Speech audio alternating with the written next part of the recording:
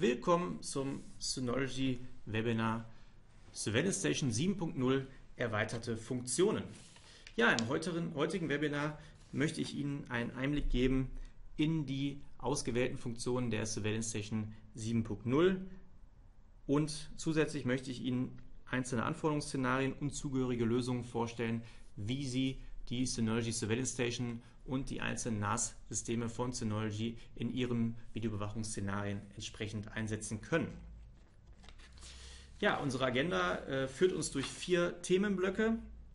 Im ersten Themenblock möchte ich Ihnen einfach generelle Lösungen vorstellen, die für sämtliche äh, Szenarien, die Sie im Videoüberwachungsbereich ähm, auffinden, hilfreich sind.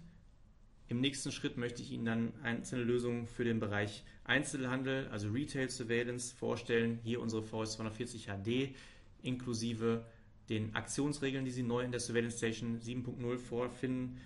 Dann gehen wir über in den mobilen Überwachungsbereich, wo ich Ihnen die EDS 14 vorstelle und die Implementierung mit 3G und 4G Unterstützung und zum Schluss das Thema Türzutrittskontrolle, das ich Ihnen dann auch entsprechend ähm, noch näher bringen werde. Starten wir direkt mit dem ersten Szenario. Grundsätzlich ist es so, in allen Szenarien, die Sie im Videoüberwachungsbereich auffinden, brauchen Sie natürlich zwei Dinge, die Sie beachten müssen. Zum einen, Sie starten mit dem Hinzufügen von Kameras und Sie enden mit dem Backup-Job Ihrer Videodaten und vor allem Ihrer Konfiguration der Surveillance Station. Ja, im Bereich Kamera hinzufügen, haben Sie eigentlich drei Auswahlmöglichkeiten. Die von uns empfohlene ist, Sie suchen sich Kameras aus unserer Kompatibilitätsliste. Die sind dann auch bei uns integriert und können diese ganz einfach in der Surveillance Station hinzufügen. Für Modelle, die noch nicht integriert sind, bieten wir OnVIF-Kompatibilität. Das heißt, wenn die Kamera OnVIF unterstützt, wir unterstützen derzeit den Standard OnVIF 2.4, dann können Sie diese Kamera über OnWiv bei uns in der Surveillance Station versuchen hinzuzufügen. Und wenn die Kamera nicht bei uns integriert ist und auch nicht OnWiv unterstützt, haben Sie immer noch die Möglichkeit, über den Kamerapfad, das heißt den benutzerdefinierten Pfad der Kamera, entsprechend die Kamera in der Surveillance Station hinzuzufügen.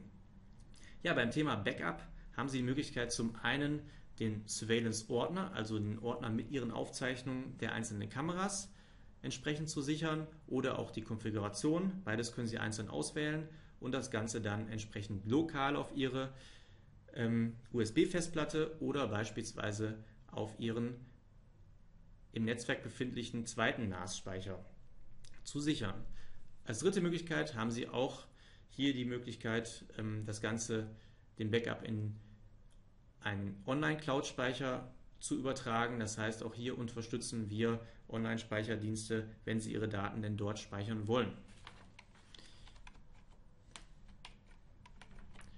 Gucken wir uns das Ganze direkt in der Live-Demo an. Wenn ich Kameras hinzufügen möchte, dann klicke ich hier auf den Punkt IP-Kamera. Hier sehen Sie schon einzelne hinzugefügte Modelle und dann gehe ich beispielsweise hier hin und suche mir ein Modell aus.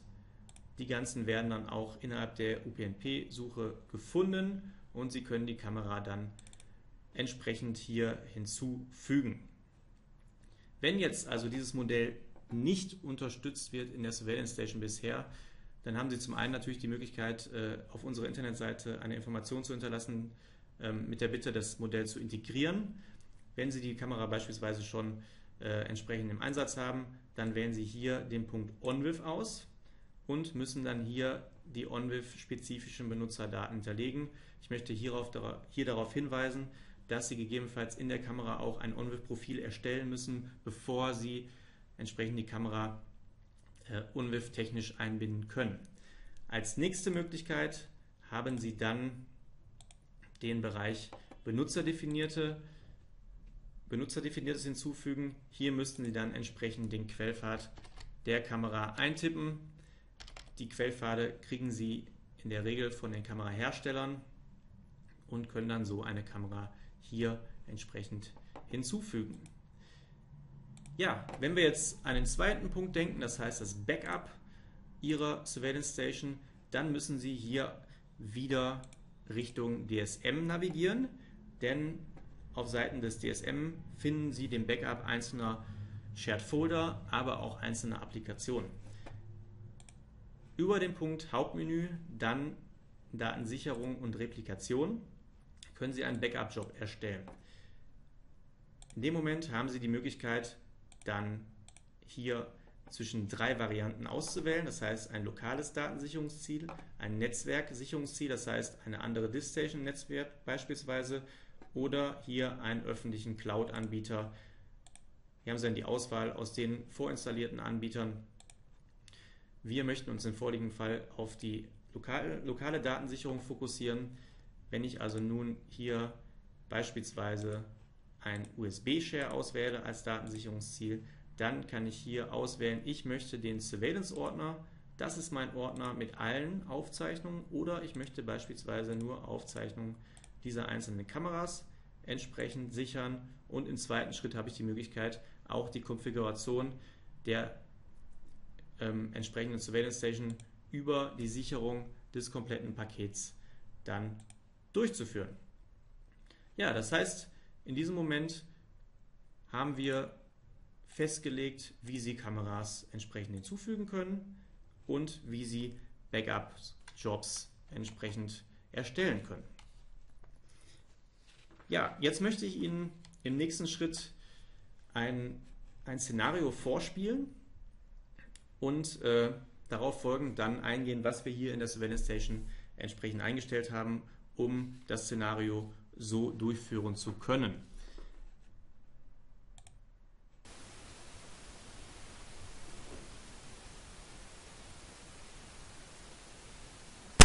Raus hier, verschwinde! So, was haben wir in diesem Video denn gesehen? Wir haben gesehen, es war ein Eindringling, offensichtlich in meinen Räumlichkeiten. Es wurde eine Bewegungserkennung detektiert. Jetzt habe ich die Möglichkeit, Aktionsregeln zu definieren.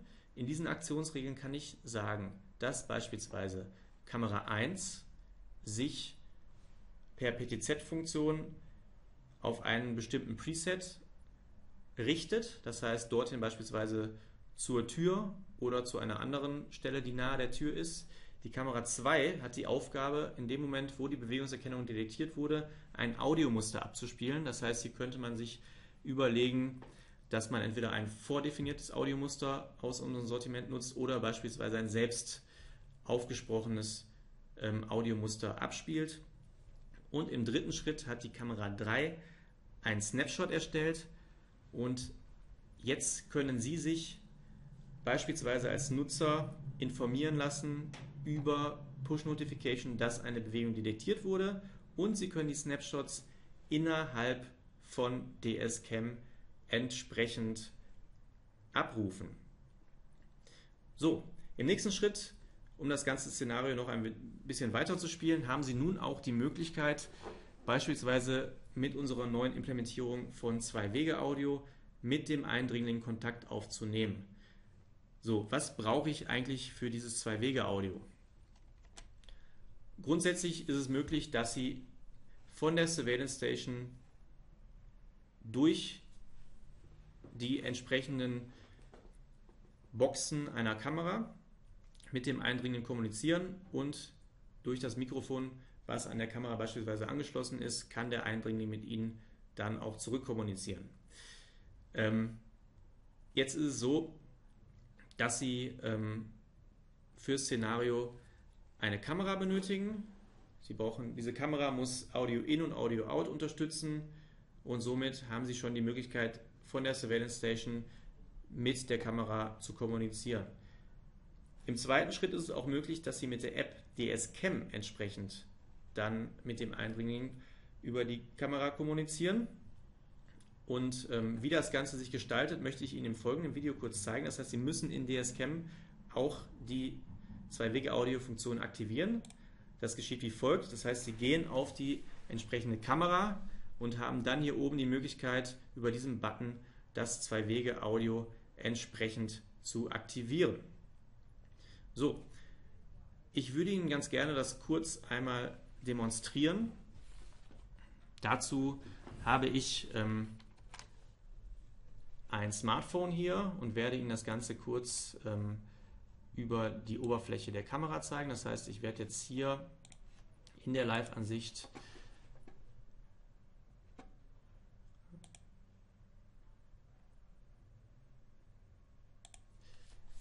so diese Produkt-Live-Ansicht zeigen und ähm, wenn wir uns also jetzt dieses Smartphone hier anschauen, dann aktivieren wir hier oben die Zwei-Wege-Audio-Funktion. Ich habe parallel den Ausgang der Kameraboxen ähm, mit dem Mikrofon verbunden. Das heißt, wenn ich also jetzt hier reinspreche und das Ganze aktiviere, Test, Test, Test, sehen Sie, Sie hören nun den Ausgang der Kamera. und ich spreche in das Telefon.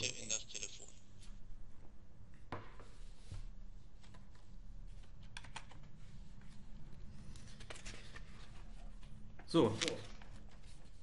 Jetzt können Sie sich natürlich vorstellen, das Ganze ist interessant für ein Szenario, wo Sie beispielsweise ähm, ja, direkt einen Eindringling haben. Äh, wir kriegen oft Fragen, äh, beziehungsweise diese, diese Funktionsanfrage kam nicht nur aus dem Bereich Videoüberwachung direkt, sondern ähm, das Ganze ist auch interessant, ähm, wenn Sie beispielsweise einfach im normalen ähm, ja, im, im, normalen Bereich, wenn Sie eine Kamera halt äh, als Außenkamera haben und dort halt jemand entsprechend ähm, vor der Tür steht, mit diesem zu kommunizieren oder auch ähm, interessant wird, äh, wenn Sie das Ganze ähm, zum Thema Babyphone nutzen.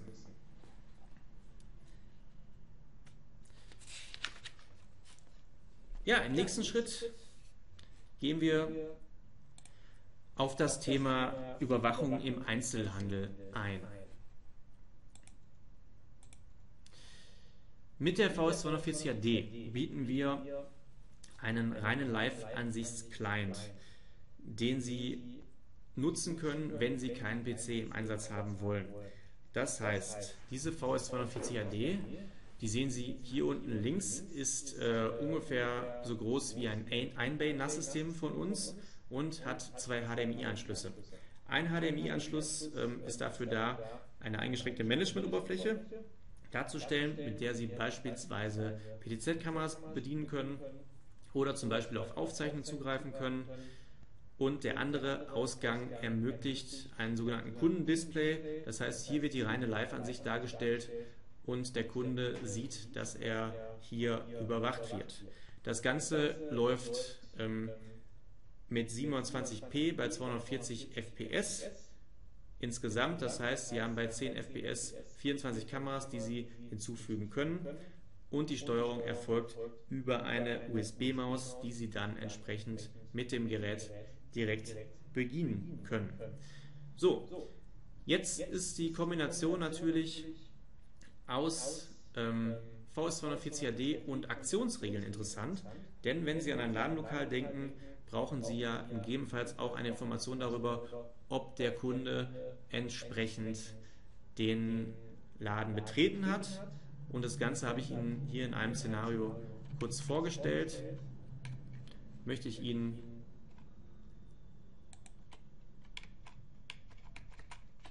hier kurz zeigen. Das heißt, wir haben in den Aktionsregeln, die wir hier öffnen, die Möglichkeit festzulegen, dass ich beispielsweise ähm, wenn ein IO-Input der Kamera getriggert wird, beispielsweise ähm, ein äh, Magnet-Device, ähm, der an der Tür befestigt ist, sich öffnet, gibt es einen IO-Trigger in die Kamera und es wird beispielsweise ein Audiomuster ausgegeben, willkommen. Das kann ich Ihnen kurz demonstrieren.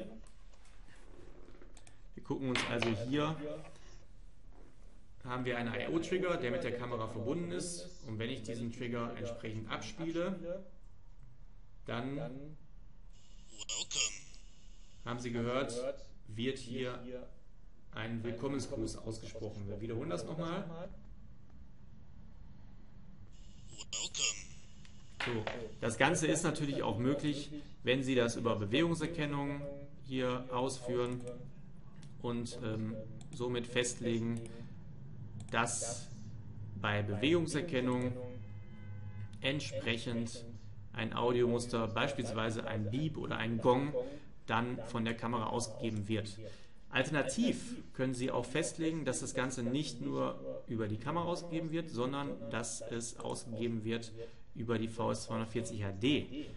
Auch das ist möglich und somit äh, benötigen Sie vielleicht äh, noch nicht mal das Mikrofon oder äh, beziehungsweise den Lautsprecher an der Kamera, sondern Sie können das Ganze direkt auch mit der VS240 HD durchführen und dann über die VS240 HD direkt informiert werden, wenn ein Kunde Ihr Ladenlokal entsprechend betritt. Ja, zu VS 240 HD noch kurz, Sie aktivieren das Ganze hier über unser Add-on Center. Hier sehen Sie auch, Sie können auch einen Joystick entsprechend aktivieren. Auch diesen können Sie mit der VS 240 HD verbinden. Hier wird es aktiviert, ist schon aktiviert. Dann gehen wir hier im Hauptmenü auf das Gerät VS 240 HD.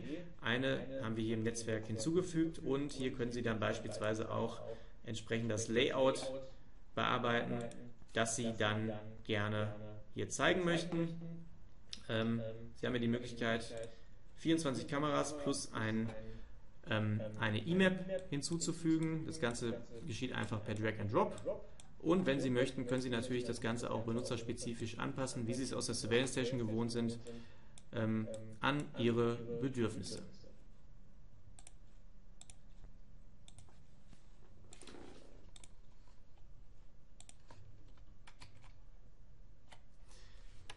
So, auf der CeBIT in diesem Jahr werden wir einen Nachfolger der VS 240 HD vorstellen. Das ist die VS 360 HD. Und diese VS 360 HD hat natürlich ähm, Weiterentwicklungs, äh, Weiterentwicklungen ähm, erhalten im Vergleich zu VS 240 HD. Hier ist es so, dass Sie hier ein ultrakompaktes Design vorfinden. Das heißt, es erinnert so ein bisschen auch an die EDS 14, auf die wir später eingehen wollen, ist, hat eine ähnliche Größe und hat aber auch die Vorteile, dass Sie hier auch Temperaturumgebung von minus 20 bis 50 Grad plus äh, als Einsatzorte nutzen können. Sie haben hier bis zu 36 Kanäle, A 10 FPS mit 720p, die Sie nutzen können. Grundsätzlich ist 1080p auch möglich. Das Ganze ähm, wird sich dann allerdings ähm, in den Spezifikationen mitgeteilt, die ähm, mit dem Produktrelease entsprechend ausgegeben werden. Sie haben die Auswahl hier nicht nur zwischen zwei HDMI-Monitoren, sondern Sie haben einen HDMI-Monitor und einen VGA-Ausgang. So, Vorteil bei der ganzen Sache ist natürlich, dass Sie nicht nur HDMI-Monitore nutzen können, sondern Sie können auch VGA-Monitore nutzen.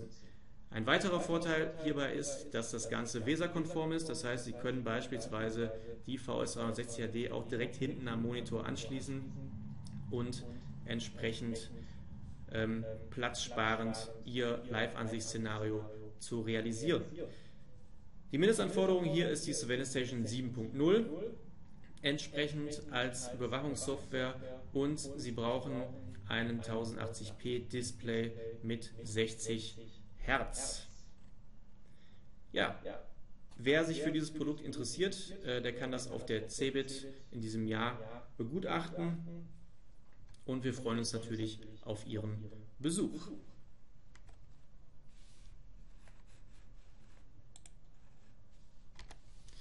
Ja, kommen wir zum nächsten Thema. Die EDS 14 im Einsatz für unsere mobile Videoüberwachung. Ja, wir haben viele Anfragen bekommen in der Vergangenheit, ähm, wie man ähm, Videoüberwachung in mobilen Umfeld äh, ermöglichen kann. Für dieses Szenario haben wir ein neues Produkt auf den Markt gebracht. Das gibt es schon ein wenig länger. Ähm, das ist die EDS 14, das ist ein wirklich ultra kompaktes äh, NAS-System. Sie sehen es hier unten. Ähm, und der Vorteil hierbei ist, dass Sie zum einen das NAS-System mit äh, 12 Volt DC-In nutzen können. Das heißt, Sie können das Ganze auch an Zigarettenanzünder im Auto anschließen. Und das DSM, also das Betriebssystem mit der Surveillance Station, läuft auf dem internen Flash. Somit ist natürlich der Vorteil gegeben, dass Sie das Ganze entsprechend direkt auspacken können, nutzen können. Und Aufzeichnungen werden nicht auf einer internen Festplatte gespeichert, sondern Sie haben die Möglichkeit hier SD-Karten und USB-Sticks einzusetzen, um das Ganze dann entsprechend für sich auch in rüttelnden Umgebungen einzusetzen. Ja, mit der EDS 14 haben Sie die Möglichkeit, bis zu fünf IP-Kameras hinzuzufügen. Die einzelne Spezifikation mit den Aufzeichnungen finden Sie bei uns, mit den Auflösungen finden Sie bei uns auf der Internetseite. Und ein Zusätzlicher Vorteil natürlich die LTE oder 3G-Unterstützung, die Sie mit allen unseren Synology NAS-Systemen haben, wenn Sie einen entsprechenden Stick nutzen, äh, bietet natürlich auch hier den Vorteil, von extern auf die ganze Lösung zuzugreifen. Wie sieht das Ganze also in der Übersicht aus?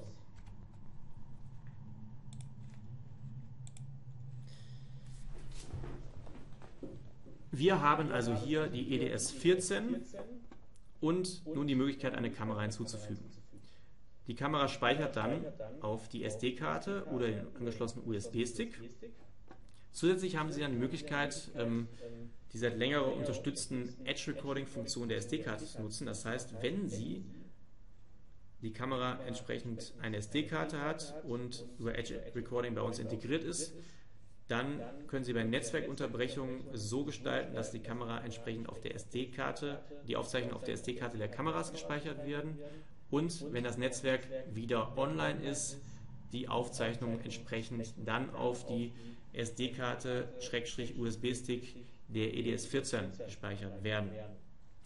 So, für den externen Zugriff haben Sie jetzt auch die Möglichkeit, den 3G oder 4G USB-Dongle anzuschließen und als Nutzer über unseren Verbindungsdienst QuickConnect dann auch entweder über DSCAM oder Webinterface auf die Surveillance Station, die sich auf der EDS 14 befindet, entsprechend zuzugreifen.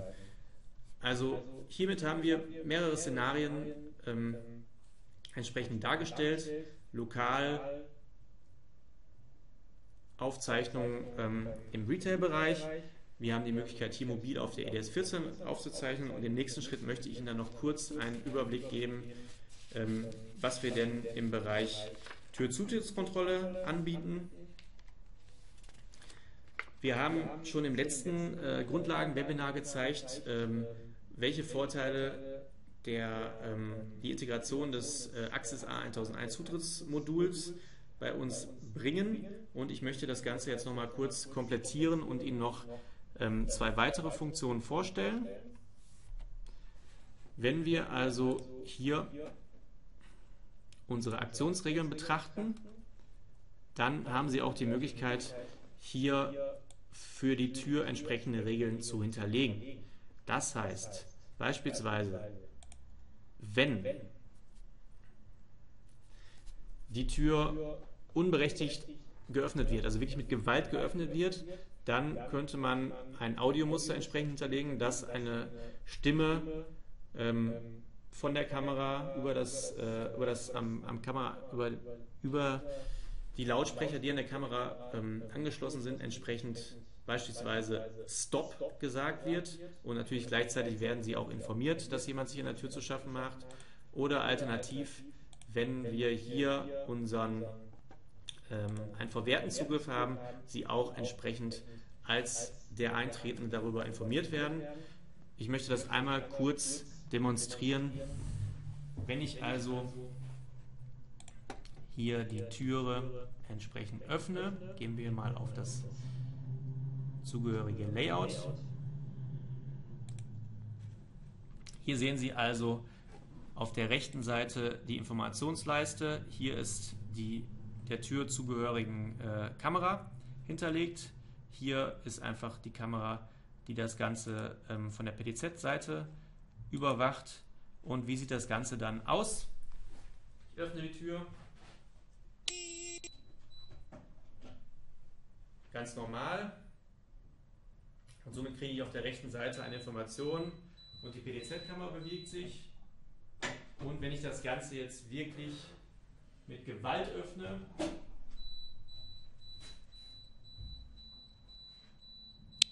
Stop, stop, stop. Stop. Stop. Stop. Dann hören Sie, dass hier entsprechend ein Signal ausgegeben wird. Ja, mit diesen Informationen ähm, möchte ich auch das Webinar hier beenden und bedanke mich für Ihre Aufmerksamkeit. Wir haben hier Lösungsmöglichkeiten für alle Überwachungsszenarien gesehen, einzelne Lösungsmöglichkeiten für den Bereich Retail-Überwachung, für den mobilen Überwachungsbereich und für den Bereich Büroüberwachung. Äh, hier insbesondere dann die Türzutrittskontrolle. Und ich freue mich natürlich, ähm, wenn Sie uns kontaktieren bei Fragen und verbleibe hier mit ähm, freundlichen Grüßen.